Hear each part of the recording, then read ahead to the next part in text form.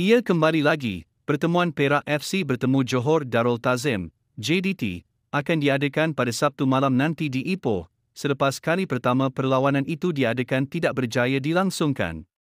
Perlawanan asal tidak dapat dilangsungkan selepas dua minit ia dijalankan kerana cuaca buruk. Kini, kedua-dua pasukan boleh beraksi semula untuk mendapatkan tiga mata. Perak yang berada di laman sendiri semestinya mengharapkan sesuatu positif daripada perlawanan ini. Untuk itu, Yusri Celah harus merencana ramuan istimewa bagi menyekat Harimau Selatan. 1. Gunakan Luciano Guecochea. Salah satu strategi yang boleh digunakan oleh Yusri untuk mencari gol adalah menerusi ketua pasukan, Luciano Guecocha. Pemain dari Argentina itu boleh dijadikan sebagai center of attention kepada taktikal Perak berdasarkan kualitinya sebagai pemain tengah. Malah, Yusri boleh cuba mendapatkan jaringan menerusi situasi bola mati dengan mengarahkan para pemainnya cuba cari foul di depan kotak penalti JDT.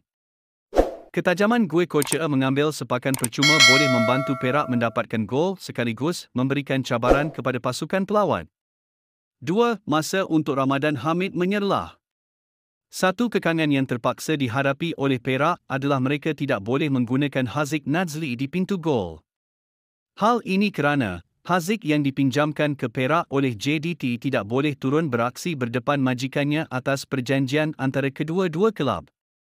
Lazimnya, Yusri akan menumpukan perhatiannya kepada penjaga gol kedua iaitu Ramadan Hamid untuk menggalas tugas di pintu gol.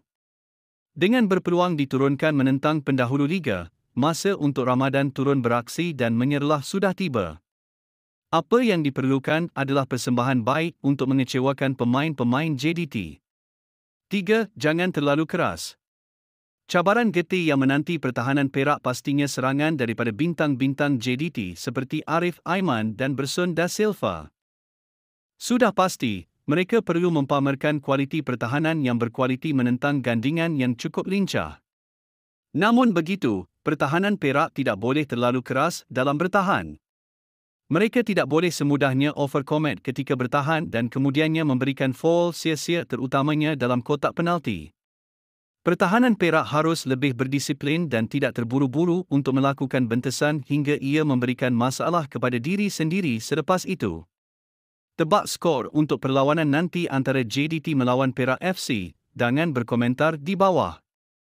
Akhirnya sekian informasi kami buat, semoga bermanfaat, jangan lupa subscribe.